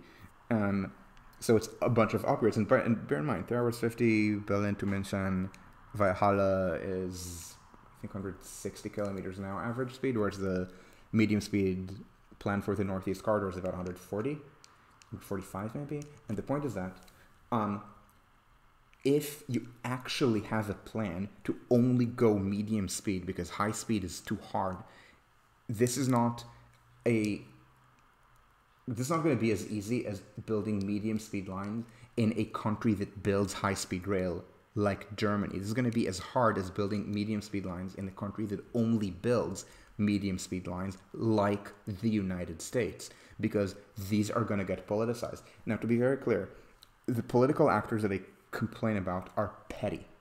The president of the United States is not petty. Um, again, I've heard, I've literally told you all I've heard about about his contribution. Um, I've talked to people who have talked to him about this. Um, I didn't talk to those people about him. Again, there were many, many people on that call. Um, my um, impressions of federal, even federal appointees, not just federal civil servants, is for the most part, positive. Like there, there, are morons there, but there are morons in every organization almost. Um, like I don't think the Transit Cost Project has morons, but for the most part, we have four people. Um, and yeah, I can tell you that the people that I hire are not are not morons, but I'm not hiring a lot of people. And yeah, I mean, if there are going to be a lot of presidential appointees, some of them are morons. But I don't see any of the pettiness that I see by local actors. So the fact that the president cares, that by itself is not bad. I want to make it very clear. The fact that the president cares might actually get things moving. I don't know. I've never talked to the man. Um, unless you count receiving automated emails from him when I once was on some Democratic Party mailing list like 15 years ago. Um, maybe it would have been less than 15 years ago because specifically because I remember I got I got the email from him qua vice president, so he was already vice president at the time, and um, the so I guess 13, 14 hours ago, whatever. Um, but the um, so when I say politicization, I mean local actors. I mean people in Connecticut who think that um, losing a hundred houses to a straighter right of way through Darien is impossible. Often, and they never it's they never even say it's bad. They just say, "Oh, it's impossible." Um, it's kind of this preemptive surrender. The thing, um, the thing Kaleo that exactly. Oh yeah, yeah, but that's also the Russians. Um, oh, why does Germany do this? Why did Germany do what? Um, mostly medium speed rail because um, Germany does have an NBAism problem. Uh, unlike for example Southern Europe or France, because German because high speed rail was not invented here. High speed rail, as we know it, was invented in Japan and reinvented in Europe in France. Germany does not like learning from France, um, and the sort of uh, so Deutsche Bahn internally is pushing for something different, and the sort of people who would be pushing for this on the outside, the more technically literate ones, they're still the German middle class. So what do they look at? They don't look at France. They look down on France. They look at Switzerland, look at the Netherlands, look at Austria, which have medium speed based systems. The Netherlands does have one high speed liner, which is a complete white elephant. Um, and um, th- and of course, if you're the Netherlands and you're building a domestic rail network, you don't need high speed. You're a tiny country, same as if you're Switzerland or even Austria. So in uh, so in Germany, essentially, we're learning from the wrong people, um, to the extent we learn at all. And this is and because the German medium speed rail system works kind of okay. I mean, Deutsche Bahn has a lot of problems, but the ridership is pretty healthy, for example, uh, and growing. Um, because of that, a lot of people talk um, about internal critiques. It's like I can see a world in which the United States learns from others. Again, the United States is a much more arrogant, much more solipsistic country than is Germany.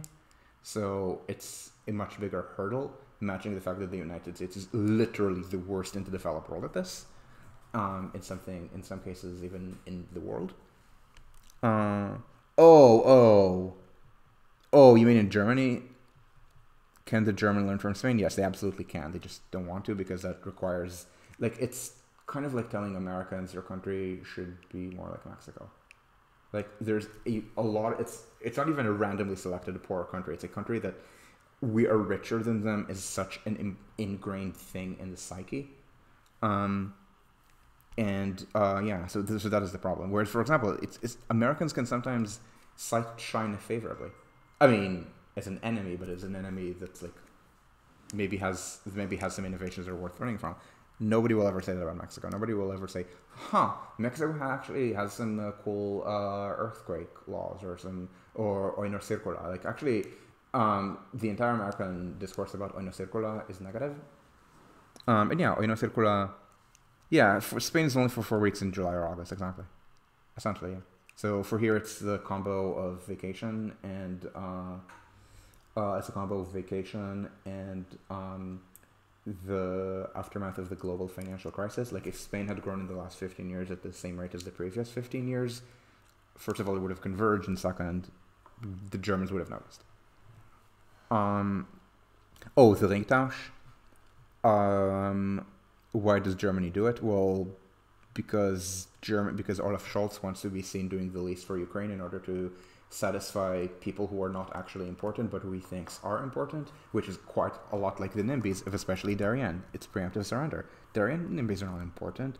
I threw a trial balloon for like statewide people in Connecticut. I'm not going to tell you who, not the governance. I, I mean, people who I expect to have a good read on statewide politics in, in Connecticut. When I, I literally told them that there's going to be some pretty serious impact to Darien, they didn't flinch. I mean, nobody likes Darien.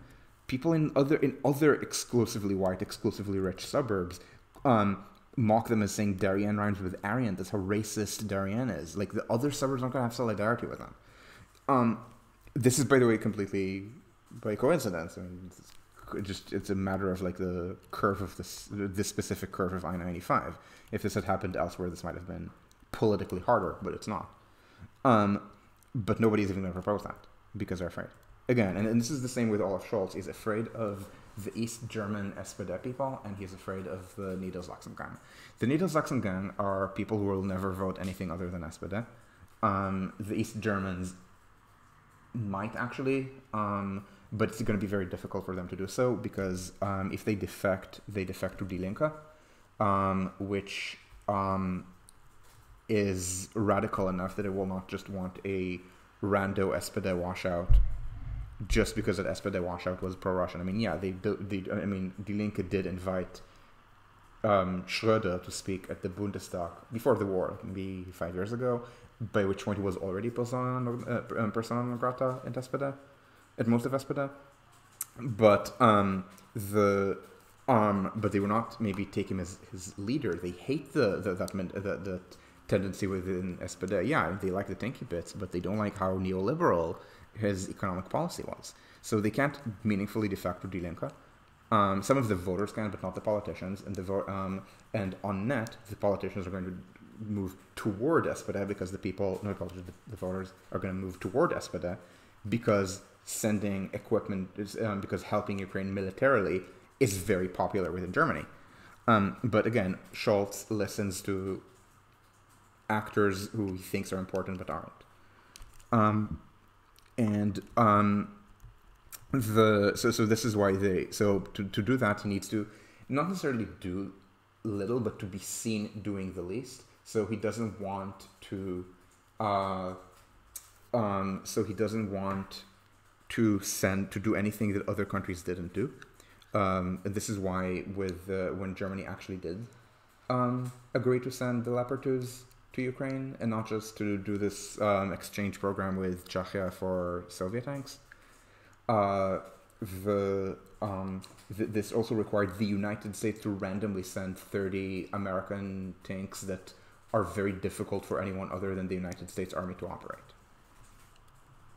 Um, so so that is the the situation with Charlestown. This is also the analogy with the situation in in, in a place like Darien, and um, so again, I don't think that the president cares is what makes this politicized. I think the fact that people say, "Well, you can't do it," um, as um, the entire thing as opposed to the strongest part of the entire thing that matters. And this is again the exact same sort of pettiness happens for medium speed for, for medium speed things. I mean, there there were NIMBYs who opposed a not even I mean a, plan to build high speed rail. I mean you'd expect oh they do some high speed bypasses like doing at least New York uh, not New York New Haven doing New Haven to Kingston maybe uh, just because I ninety five is much straighter here and the uh, rail route is much less straight so benefits of building a bypass are high.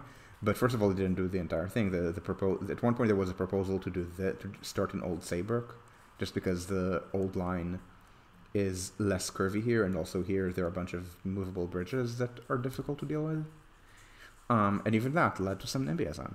Um, and right now, people are talking, and right now there is some NIMBYism from this town, uh, no, not from this town, from this town, Charlestown, about impact in an area of that is technically within the municipality, but nobody lives. We're not talking about ramming a line through here. We're talking ramming it through here. Um, and um, so if the top thing to do is going to be something medium speed or something small, the NIMBYs are still going to NIMBY. There, uh, and as I said, you know, the NIMBYs, relative to the number of lines, may be the same, but relative to the kind of line, it's not. Um, and um, what else? The um, like when I talk about uh, there are petty actors that are not NIMBYs, just local politicians who extract concessions um, and often use the NIMBYs to their advantage. Well, I can help you with the NIMBYs, but you need to give me X, Y, Z, if you know what I mean. Often they don't even phrase it in that direct way. If you know what I mean, is oh, I've heard you have NIMBY problems. Well, it would be easier to deal with them if you gave me X, Y, Z, if you know what I mean um, it's like very mobster type talk because it's not people because if people are saying things are so repulsive there, they, and, and they understand how repulsive they are, so they never say them out loud. They always use circumlocution. I you never say whack this guy, or you never, or sorry, you maybe say whack this guy, and even that is a euphemism. You don't say kill this guy. You say this guy looks like he's gonna get whacked. The way he's gonna continue, right? I mean, you, you don't order killing people. Um, it's repulsive and you know it's repulsive. Um, it's, you have you establish an understanding, and this is going to happen. It, it's It happened in the United States when you downgraded subways to light rail. It's happening in the United States. It's downgraded high speed rail to medium speed rail, and it is going to happen in Germany. We're already seeing signs of it. If it downgrades, um, if it downgrades subways to tramways, again, they have long planning lead times on these tramways just because um, suddenly it's an important line rather than some like throwaway, some some 50 million euro throwaway to a multi-billion euro program. That uh, people are going to talk about the multi-billion dollar program, not about the 50 million throwaway. Um, so yeah, of course, like people are, of course, of course, there are going to be multiple layers of review, multiple um, multiple NGOs that feel like they should be consulted. None of them should be consulted. Generally, when someone wants to be consulted, if they're a technical expert, the answer should probably be no, and if they're not, the answer should definitely be no. Um, and and I've seen good proposals just languish forever just because there were too many cooks in the kitchen, even if the cook, even even when the cooks were competent, and often the, the people we're talking about are not. And so this is why you should not downgrade. Um, if your costs are high, figure how to fight back, how to fight back against the NIMBYs, how to fight back against petty actors. Um, again, the 15 million example for the Marx Brothers playground from the beginning, where it should have been just free. Um, fight against surplus extraction. If you have surplus extraction problems, they will get worse, in fact, if you downgrade, because the downgrade means lower physical cost and lower benefits, but the petty actors are not going to shrink. The petty actors want the same. Now maybe they, maybe they will get less because they don't want to get take too much relative, but they will take. But it's degressive. They will take more relative to the size of the project. There will be more waste relative to what you're building. Um, be aware the solution to, to the fact that in Germany things take too long is to reform things so that they will take less long. This means Germany needs to first of all understand that there is nothing in the English-speaking world or in the Netherlands that's worth copying. Um, now, I don't think people are talking about bringing in design build or anything like that. Um, there's only a little bit of PPP shit, um, but you never know. Um, and this does mean that Germany needs to see what local places that build fast do, and this is Spain for all the places for, for, for not for high speed rail, but for in, but for metros, Italy, um, and imitate that, or even honestly look at look at Switzerland to some extent. I mean, Switzerland has a lot of NIMBYism. Switzerland builds more housing per capita than does Germany. Switzerland also builds more tunnels, more rail tunnels per capita than does Germany. Um, it hyper optimizes everything to minimize tunneling, but when you hyper optimize, you create really good rail service, and people are going to use this really good rail service, and that's going to um, require running more service to the point that you do need to build more tunnels. Um, the, the slogan that I like use to, to, to use for this is electronics before concrete, not instead of concrete. Um, so, and it's uh, it's actually a good example of the electronics concrete issue because if you understand electronics before concrete, yeah, the electronics get easier on the way to concrete. If you just oh, uh, if you just rule out concrete, the petty actors will start having opinions about the electronics. I already said this in New York, where people who don't know what loading gauges start having opinions about rail signaling or about battery electrification is the latest thing. Um, that's actually a big problem with the regional rail program that we propose at Transit Matters for Boston because we essentially rule out concrete unless you count high platforms as concrete, and by all accounts, you shouldn't. Um, so we because we were just not talking about the north-south rail link and just talking about electrification, suddenly the consultants who think that they know trains but don't start having opinions about how to do electrification. Um, which is frustrating because Boston is a region that can do small things but not big things because of planning capacity issues. But as soon as you rebrand, I shouldn't say small, but medium sized thing as big, suddenly all of the politicos, all um, all of the people who are often negatively selected for competence because the best among the political overclass would have maybe gotten a federal job, and these are people who are not getting federal jobs. Um, I shouldn't say the best. Like there's a specific Politico in Boston did get a federal job as a total moron, but um, but this is often what's the case. I should say. Um, so because of this selection issue, and because these people are just often just petty shits who don't know anything, and are and yet are in a position of enough power that they expect other people to lower their gaze in their presence. Um, so yeah, of course they're gonna say things like we're gonna leapfrog Europe um, about battery electrification. Like these are so you let these people have opinions about anything, and and you actually listen to these opinions, and things are gonna suck. So you remove the incompetent. Um, and if you downgrade the project, the incompetent people are still going to be there and they're still going to have opinions about the highest level project. No, Berlin is not run by such people. Berlin is run by people who um, know that France has commuter trains. They look down on France. They know that France has commuter trains.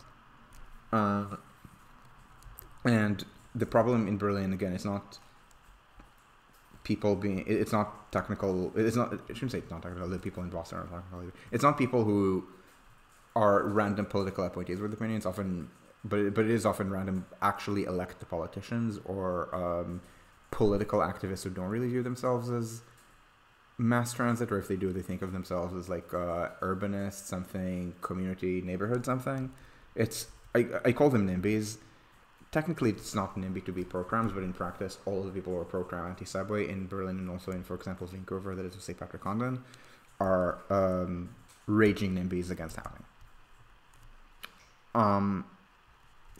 So so anyway, this is what this is like my main point here is that you can think is, is that if you have a large program and um, and it's seen as a generational program, then it'll just attract petty actors who think it's my once in a working lifetime opportunity to extract money from other people, and then um, you can you should make these people go away, not by paying them off, but by politically eliminating them, or just making sure they don't matter anymore, and and the problem is that um, just downgrading the project or shrinking the project will not make them go away.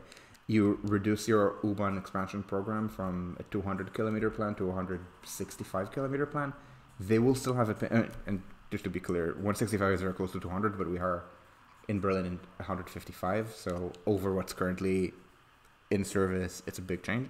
Then yeah, they will start having opinions about smaller things. You replace the plans for U-Bahn expansion with the tramway expansion, and yeah, they will start making ridiculous ridiculous demands to uh, review things further for the tramways as well. And the tramway lead time here is just going to grow, which is already happening. Um, and again, in the United States, the, the, the country lost the ability to build subways sometime in the 70s and 80s. New York, of course, lost the ability to build subways in the 40s, um, in 50s, I guess. But in um, but that but the solution, which was to build light rail, just yeah, i worked for a decade where they had good light rail ideas, and then it stopped working. Um, and then after light rail, when when they stopped being able to build light rail, what do they do? They do bus rapid transit, and they can't build that either. I mean, the lines get watered down. It's called BRT creep. They get watered down to the point of ridiculous. Not, to the point that they're so ridiculous that they're worse than normal buses in Berlin maybe they get a little bit of dedicated lanes, but only a little, and only when it doesn't matter. Um, maybe they have prepayment, but often not. Maybe they often they just are branded as this is a good bus. It's not like the bus that you see homeless black uh, homeless black people use, and that does nothing. Branding is not that important.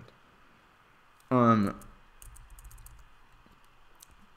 and now the new I would you know something, I don't mind that he only has a few, I don't mind that Phil Eng only has a few years of transit experience. I mind that his experience is running the LIRR where he just was not good. I'm not he didn't do anything especially bad, but the LIRR is a bloated, inefficient, um in many ways racist outfit and he did nothing to change that.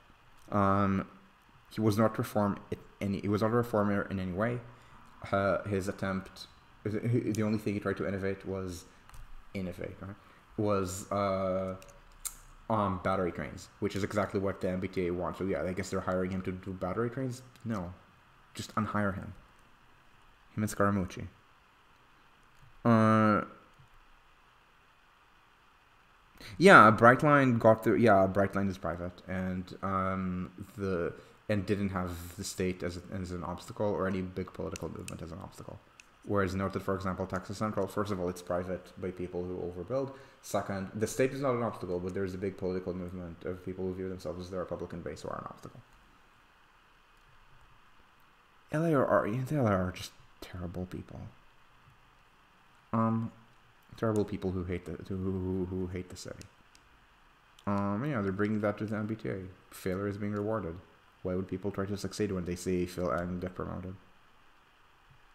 Um, and this is the only way a person does a good job get rewarded is if he somehow becomes a superstar like Andy Byford, which is not available to just boring good people. Um, but anyway, do people have questions?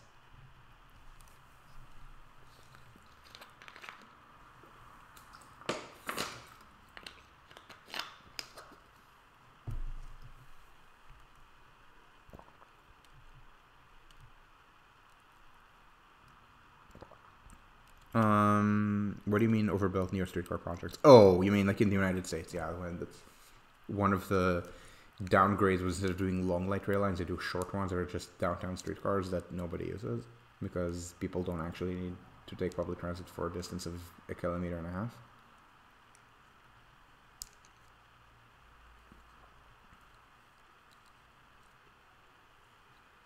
Am I familiar with research on construction costs of nuclear reactors? Yes.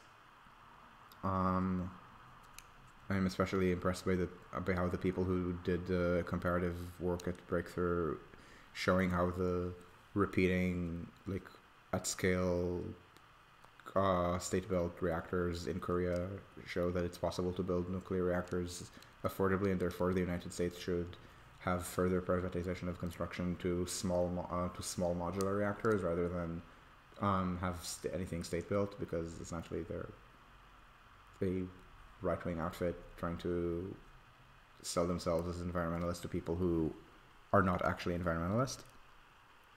I mean, there's some, but not exactly. No, it has nothing to do with civil versus common law. Remember, in the 1970s, Germany, Britain, and Italy built for basically the same cost. Um, the British cost explosion is, I don't want to say it's Thatcher, but it happened at the same time as Thatcher and Major.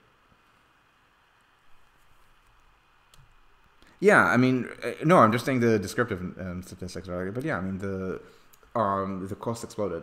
The issue with remember, remember, in transit costs don't explode. In transit, some places have cost explosion and some don't. Italy, remember, has lower real construction costs now than in the 1970s. Um,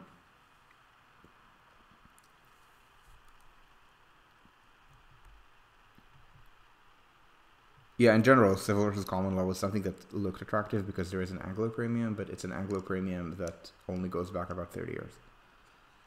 Um, and it looks like it's Anglo, it's a civil law premium because most of the countries that learn, because the, the problem is not are you civil or common law, is do you learn from do you learn from Britain?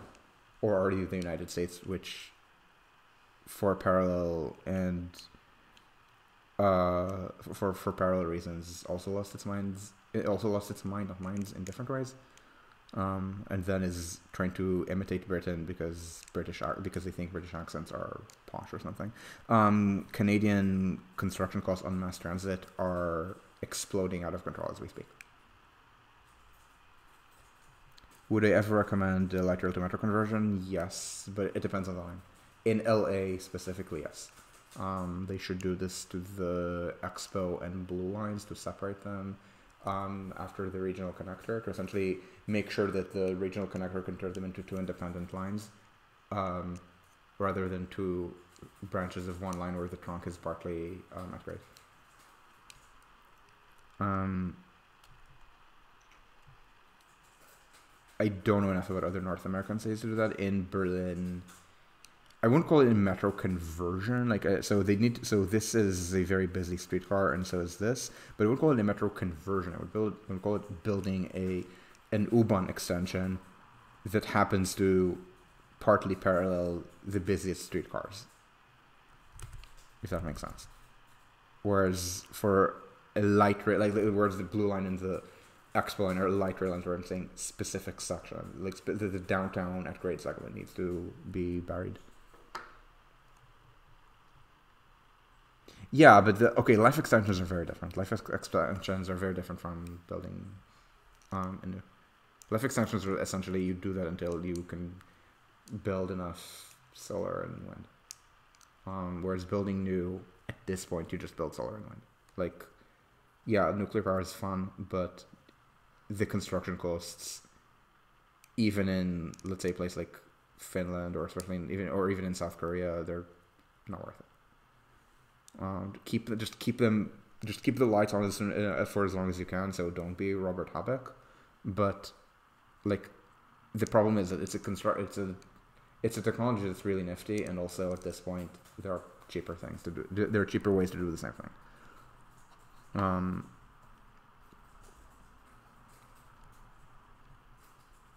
Um, but anyway, no. In construction costs of infrastructure, of like transportation infrastructure, Canada is potentially the worst in the atmosphere, other than the United States. Like Toronto, the Ontario line is, I, th- I think, has reached a, a, billion a kilometer. Um, are there examples of local extortion that I'm aware of? In Italy, there's no local empowerment.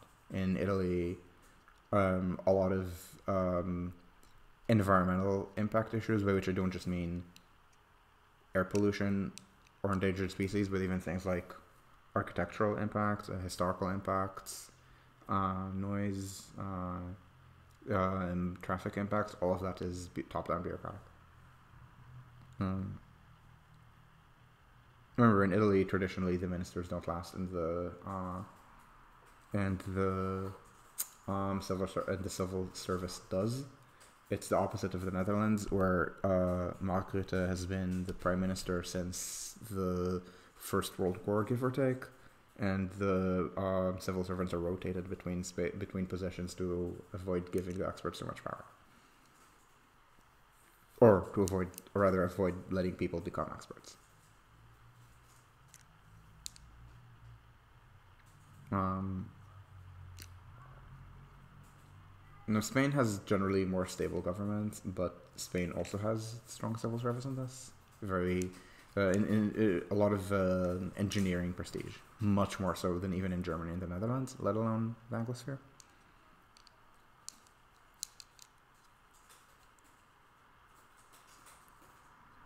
I would not call the Netherlands a large city. Um, it's a small country, but it's a country. It's not a large city.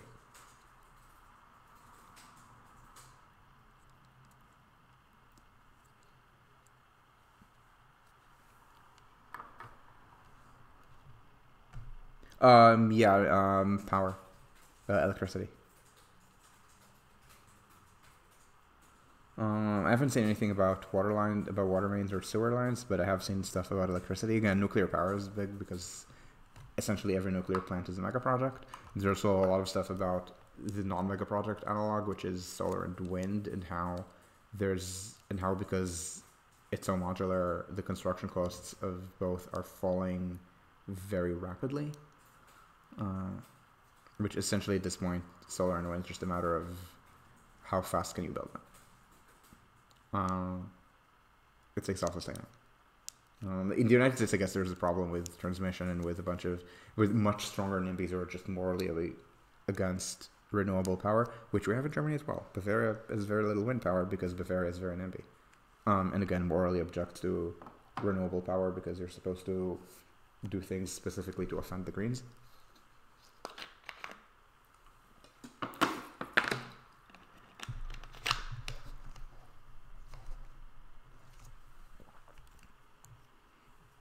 And there's yes, there is such such, such research. Um, are there other questions? We can make it a two-hour recording. A little longer than a two-hour session, two-hour recording.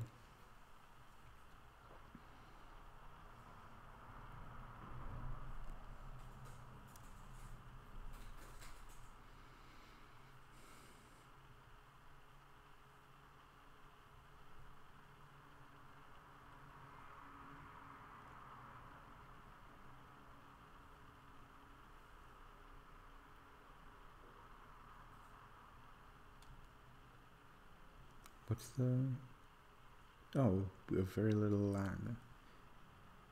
Or not lag, delay.